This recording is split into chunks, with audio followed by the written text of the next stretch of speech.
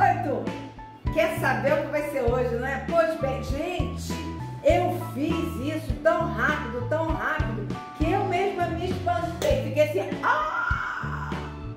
Foi muito rápido fazer esse tapete. Gente, o que deu mais trabalho foi cortar, né? Porque o tecido que eu trabalhei, que eu nem sei qual é o nome, gente, porque eu ganhei, é muito grosso. Então o que me deu mais trabalho foi cortar. E além do mais, não precisa ser cortar certinho, certinho não. Você pode cortar, tem que ter um, um padrão, tá? Nada muito grande nada muito pequeno, dentro desse padrão. Não precisa ser retinho não. Gente, eu fiz assim, ó, com o pé nas costas. Quer saber o que foi? Quer? Então, vem. Bom dia pra quem é do dia, boa tarde pra quem é da tarde, boa noite pra quem é da noite. Ateliê Cláudia Velasco apresentando para mais um Passo a Passo. Cortei tudo. Ó, uma caixa cheia.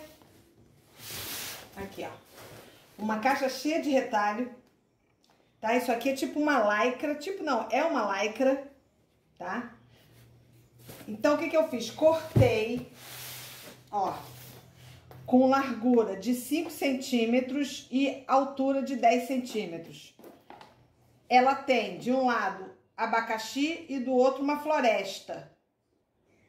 Ó, bem tropical mesmo, bem brasileiro. O que, que eu vou fazer com isso? Agora eu vou fazer uma base que eu vou unir todos esses pedaços aqui para fazer um tapete, gente.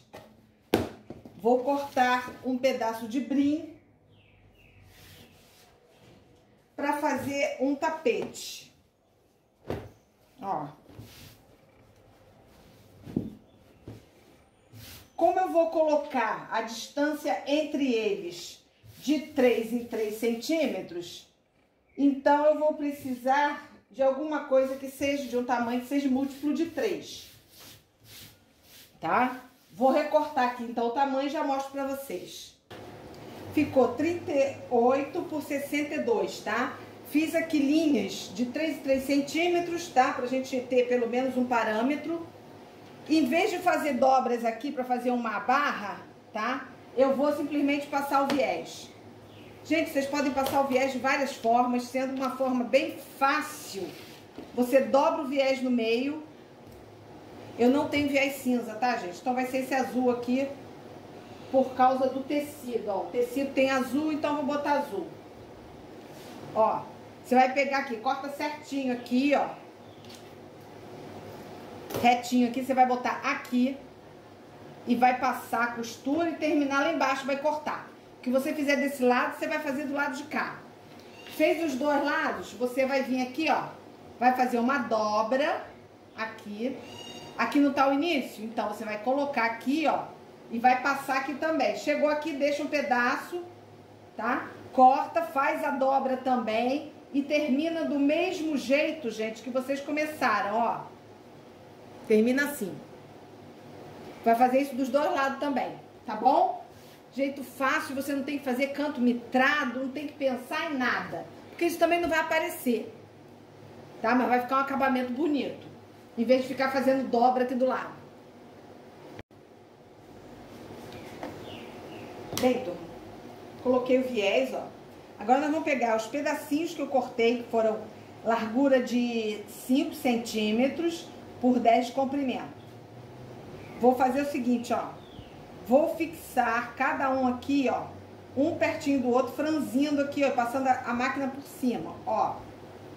Tá? Vou fazendo isso até lá embaixo. Vai ficar assim. Tá? Vamos fazer isso na máquina para vocês poderem ver direitinho. Olha só, isso aqui é olhômetro, tá? Você vai franzir aqui. Ó, colocar aqui na ponta.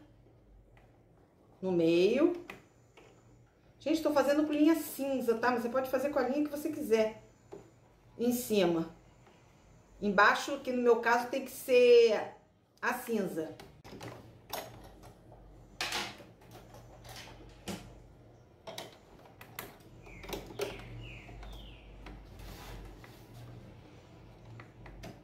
Bem, gente, ó, bota bem na beirada.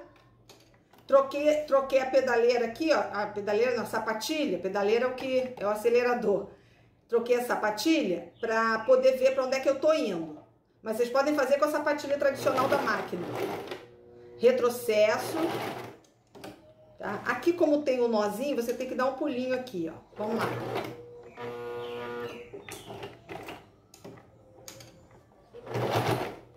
Agora você vem com o outro, faz a mesma coisa, franze. Ó, levanta. E vamos colocar, ó. Um a um. Vendo?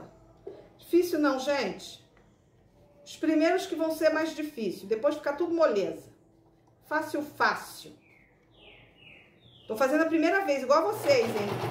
Nunca fiz isso não, hein? Ó. Vamos lá, vamos fazendo. O negócio é vocês cortarem para poder ficar bacana. Tá vendo? Aí, ó. Tem nada de extraordinário. Aí. Gente, como é que vai ficar isso? Eu não tenho a mínima ideia. Eu vou ver junto com vocês, tá? Eu não sei se vai dar certo, não. Aí, ó. Vendo? Turma, quem quiser meus moldes, é só acessar aí embaixo, abaixo do vídeo aí, tem meu telefone, entre em contato pelo zap, eu liga pra mim. Quem não souber adicionar no zap,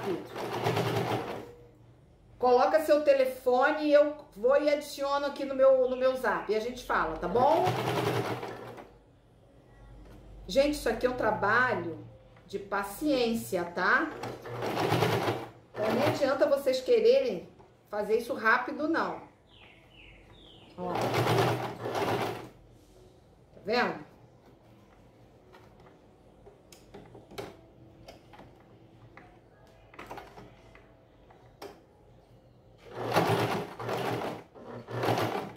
Ele tem que dobrar não. Olha só como é que tá, tá vendo? Ó. Pelo menos ser mais ou menos no meio.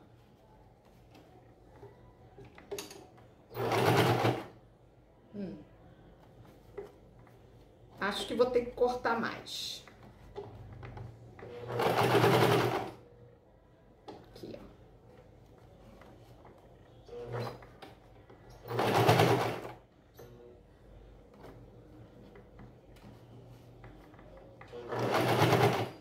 Feito esse lado aqui, gente,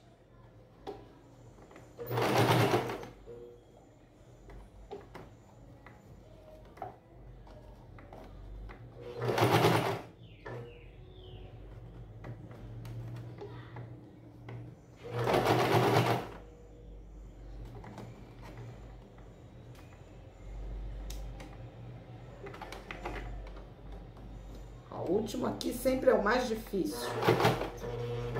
Retrocesso, gente. Tá? Tirou. Ó. Agora, lembra das linhas que a gente fez? A linha, porque aqui a gente tinha como se guiar, né? Aqui a gente não teria. Então, por isso, as linhas, ó. Vamos ter que separar esse aqui pra cá vir com o próximo, ó, ó, e colocar aqui, ó, em cima da linha, gente. Aqui.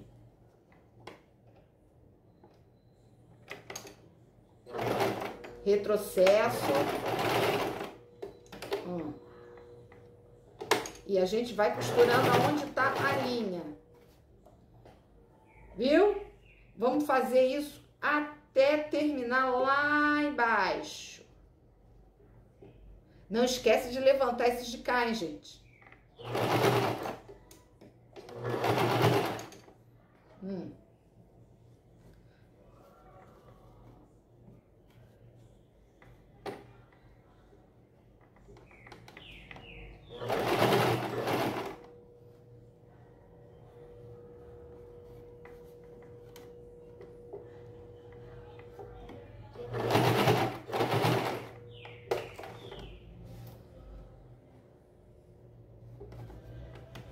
Vocês podem fazer isso com malha.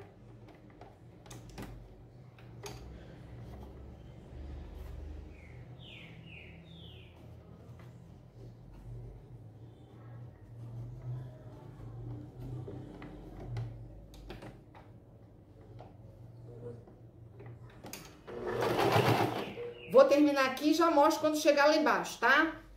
Vocês verem aqui, ó. Agora eu tô fazendo a última fileira que é a fileira que fica em cima do viés. Eu não comecei com uma fileira em cima do viés, então. Agora eu tô terminando a fileira em cima do viés. Ó. Deu em média aqui, gente, por carreira, 25 é, pedaços desse aqui. Mais ou menos, 24, 25, varia nesse, nessa quantidade. Agora, quantos foi necessário? Isso tudo depende do tecido que você vai fazer. Tem os que são mais grossos, os mais finos. Depende. Tá bom? Então, já tô terminando aqui. E vou mostrar para vocês como ficou bacana esse tapete. Terminei, acabei mais um passo a passo. É isso aí, gente. Vamos ao finalmente. Turma, olha só. Quem não tem meus moldes e quer adquirir meus moldes, acessa meu telefone aqui embaixo. Isso mesmo. Vou mostrar para vocês como são os meus moldes. Para vocês, ó, estarem de olho no próximo ano dos meus moldes. Olha só, hein? É uma folha bem grande, olha só. Ela tem um metro por um metro mais ou menos. Olha.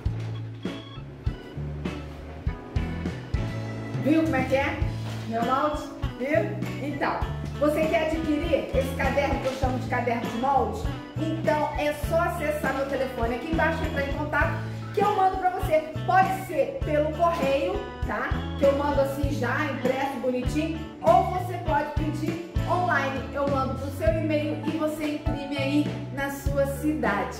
Não sabe dar preço, gente? Usa minha calculadora. A calculadora fácil de artesanato do Ateliê Cláudio Velasco. Acesse aqui embaixo. E esse mês agora de janeiro, você comprando a calculadora para dar preço na sua peça, você ganha a segunda calculadora de brinde, que é para você calcular quanto de tecido você deve comprar para fazer aquela peça que lhe pediram.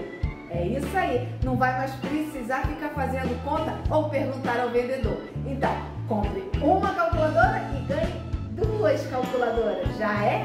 Então acessa aqui embaixo também para você saber como adquirir e como ela funciona, tá bom? Vamos ao que interessa, porque tá bom essa? Vou mandar uns beijinhos gostosos, uns beijinhos lindos, sabe pra quem? Sabe pra quem? Sabe pra quem? Pra Eliana de Guarulhos, a Maria Carla do Flamengo aqui no Rio de Janeiro, a Miriam de Sobradinho, tá? Distrito Federal, Maria Lúcia, mandei um abraço. Agora tô mandando um, mil beijos pra você e pra toda a sua família, tá bom? A Ronei de Caratinga, Minas Gerais. Odisseia de Itaparica, Vila Velha, Espírito Santo. A Ro Risolete da Bahia e a Marina de Lagarto, Aracaju. Gente, beijo, beijo, beijo, beijo. Caiu o caderno. beijo, beijo para vocês, tá bom? Continua colocando aqui embaixo da cidade e do estado que vocês estão falando, ou do país. Tem gente lá de Portugal, ó, falando muito comigo, do Chile, do Paraguai, lugares falando comigo aí. Um beijo para vocês também que são de outros países, tá bom? Vamos ao que interessa agora, que é saber como é que ficou meu trabalho? Vou colocar, sabe onde? Aqui na parede, para vocês verem como é que ficou esse trabalho prontinho. Olha, o que, que, vocês acharam? A linha aqui não conta não, tá, gente? A gente corta a linha depois. tá, ó. Esse tapete, gente, por ele ter sido feito com esse material que eu ganhei, ó, é uma lycra muito grossa. Eu não sei o nome, não. Se alguém souber, posta aí embaixo o nome dessa lycra aqui, ó, desse tipo de lycra aqui. Ele ficou bem pesado, gente, mas foi muito fácil de fazer. O maior trabalho mesmo foi cortar essa lycra aqui. Cegou minha tesoura, tá? Mas valeu a pena. Ficou um tapete muito bacana e muito, muito fofo. É igual a minha, assim, uma fofura. tá vendo? Então eu vou fazer outro, né? Porque essa, essa lycra, ela é dupla face, ó. Um lado ela é de abacaxi e outro lado, né? Ela é uma mata tipo Amazônia, né? É cheia de papagaio, muita vegetação. Então eu vou fazer outro do lado vermelho. Isso, pra quem gosta, ó, tá vendo? Ficou diferente, não ficou, gente? Muito fácil. Então, vem comigo, faz esse tapete, mostra pra mim. Você pode fazer com qualquer tecido que não desfia, tá bom? O tricoline eu não digo pra você fazer porque ele vai desfiar aqui, ó, pelas beiradas, ele vai desfiar. Não sei que você passe o zigue-zague em todo pedacinho. Também pode. Acabei de ter essa ideia, viu? você passar é, o zigue-zague todo, em todos os quatro cantos do, do retângulo, tá? Aí você pode fazer. Vai dar mais trabalho, mas também deve ficar bacana e você vai economizar muito dinheiro porque você vai usar todo o seu tecido que você tem aí, tá certo? Olha só, gente, não deixa de me seguir lá no Instagram, arroba Velasco. Gente, eu posto lá primeiro que aqui.